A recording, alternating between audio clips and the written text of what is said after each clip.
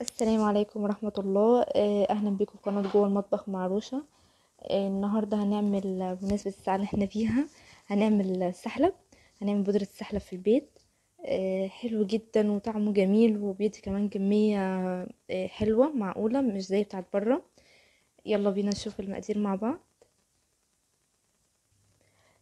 معايا فول سوداني أربع معالق كبار سمسم تلات أكياس فانيليا أو أربعة.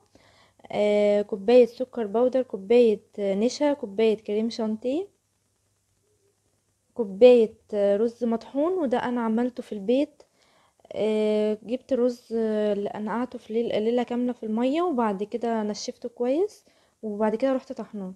وممكن كمان لو متاح إن انت تجيبيه من عند العطار بس أنا عملته في البيت. معايا هنا كوباية جوز الهند كوباية لبن بودر دي المكونات كلها بتاعت السحلب. آه، سهلة جدا. اهي مفيهاش أي مشكلة. هنحطهم كل المكونات دي كلها مع بعض.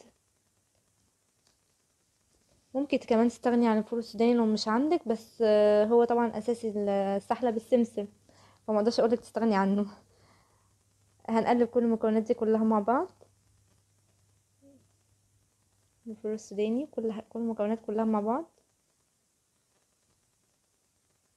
ممكن كمان تحطي تلات أكياس فانيليا أو الأربعة بس ميبقاش أقل من تلاتة عشان برضه طبعا طبعا بيديله نكهة كويسة. وبكده السحلب بتاعنا يكون جاهز شايفين؟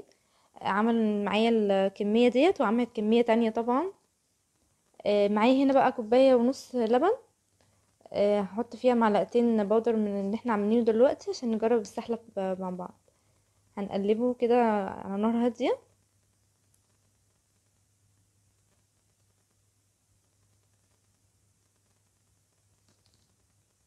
شايفين هو دلوقتي السحلب معايا جاهز اهو.